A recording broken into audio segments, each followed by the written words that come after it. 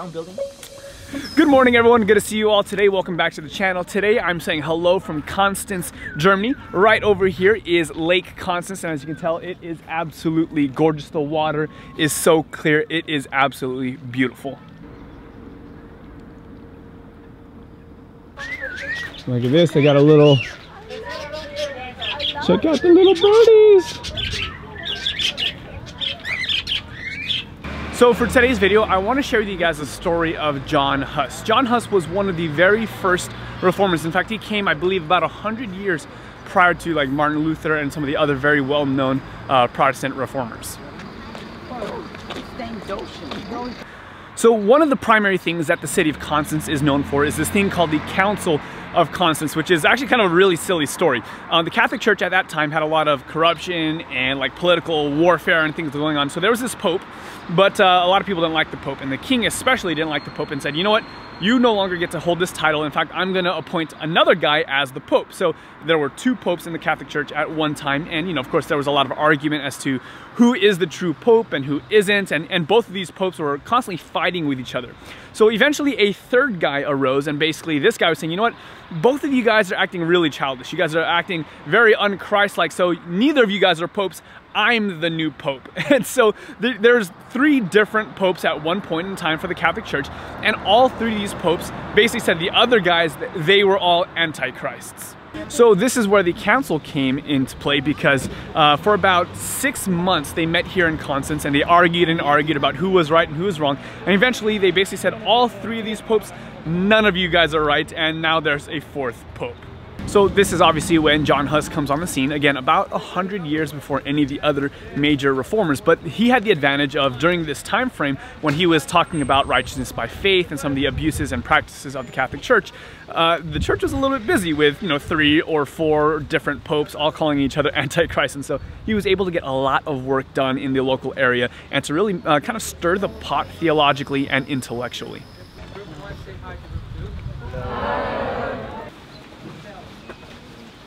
So John Huss had about 20 or so years where he's able to freely preach uh, the gospel and to teach people, but eventually the church sorted out all of their disagreements and were able to get together and capture John Huss. And this is actually the monastery where he was detained and eventually John Huss is executed. I believe he's burned at the stake for his teaching on righteousness by faith and some of the other things that he was sharing.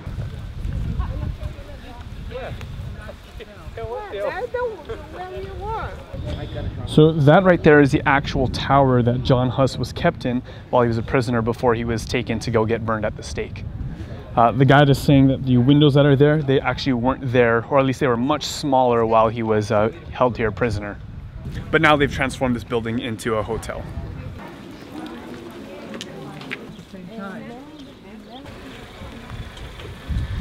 So something that's really cool about this city is that everywhere you look, it looks like the, the buildings all match. And I just learned that if anyone ever wants to like put art on the wall or to paint a building a new color, there's a committee here in Constance that has to approve your color scheme. That way everything in the city tends to match. So directly behind me is a stone with the name John Huss on it, and this is the this is the exact spot where John Huss was burned at the stake. So they brought him here, and they you know gave him multiple opportunities to recant, to basically retract the teaching that he had given at the time, and and and the the the, the heresies that he was teaching was basically that you know what you don't need a priest to go to God. Jesus is priest enough, and you can just go directly to God in light of what Jesus has done for you. So here he is, he's at this place and he's being burned at the stake. And it's really amazing that as he's being, as they're lighting the fire, uh, John Huss isn't afraid, he isn't terrified. All he's doing is he's just singing. So eyewitness accounts of this event actually say that while uh, he was being burned, as, as the flames were engulfing him, John Huss exclaimed, I'm not feeling the pain, I'm not feeling the pain. In fact, he actually kind of I mean, I don't know if this was a joke, but he actually said that I'm most likely gonna die from the inhalation of the smoke than I'm actually gonna die from the fire. He would also say that uh, at this moment, you guys are cooking a goose. And the reason why he said that is because his last name Huss, uh, I guess it means goose. He says right now you're, you are, uh, you're cooking a goose, but in a hundred years, there will arise a swan whom you will not be able to roast.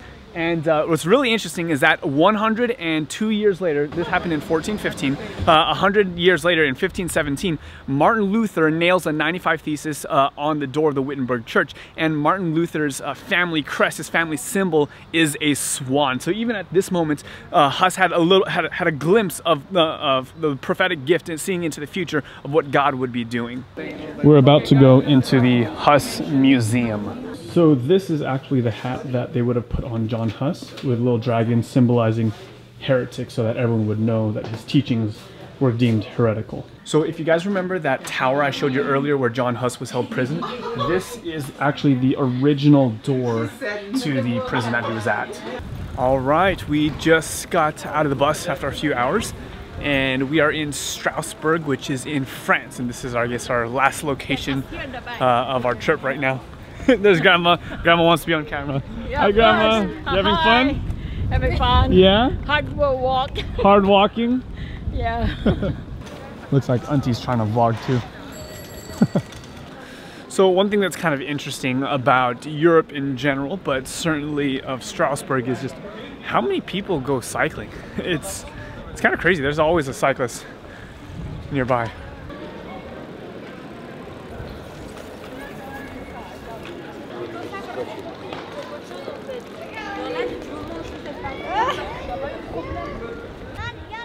So this is a statue of Johann Gutenberg, the inventor of the printing press.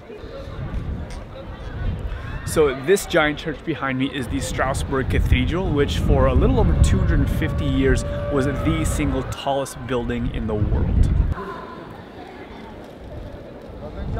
Well, that's it for today. We made it back to our hotel. Uh, I don't know about you, but today was actually, I think, my favorite day out of the entire trip so far. I really loved learning quite a bit about John Huss. There was a lot of information actually that I didn't know about him prior to today. In fact, I even got one of the uh, books that they were selling at the uh, the little hotel there, and I'm really excited to learn more about him. And one takeaway that I'd like to share with you guys about him, obviously there's a lot that you could say, but was just how God can use people from very humble beginnings.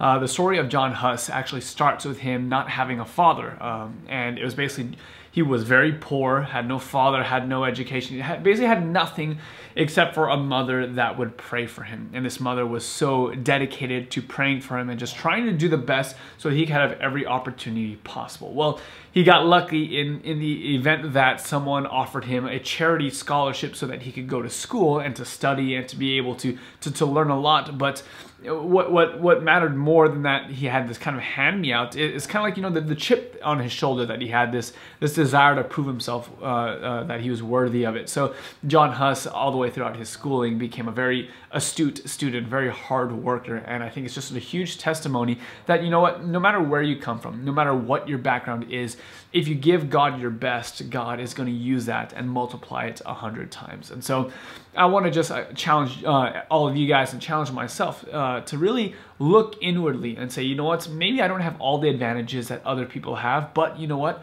What would God do through me if I gave him everything? And that's a question I want to leave you guys with uh, tonight, and I want to challenge you to give your best to God. Oh, and also before I end this video, a lot of you guys have actually been asking me how you can support this channel, how you can support the vision and the ministry that is the That Christian Vlogger YouTube channel. Um, so if you would like to, not that you have to, but if you would like to support this channel to make videos like this possible in the future, there is a link in the description under this YouTube channel called patreon.com slash that Christian vlogger. And that's a website where you can donate uh, just small amounts of money just to help this project go forward and to make sure that there are videos like this in the future for young people to be able to enjoy and to be inspired by. Again, it's not a requirement as these videos will always be free, but if this is a vision that you would like to support, your support would be very, very much appreciated. Um, but as I like to say, until next time, I'm that Christian vlogger, and I want to encourage you to experience faith in the first person. God bless.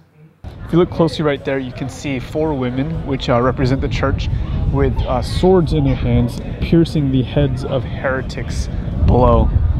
Clearly, this is a Catholic church.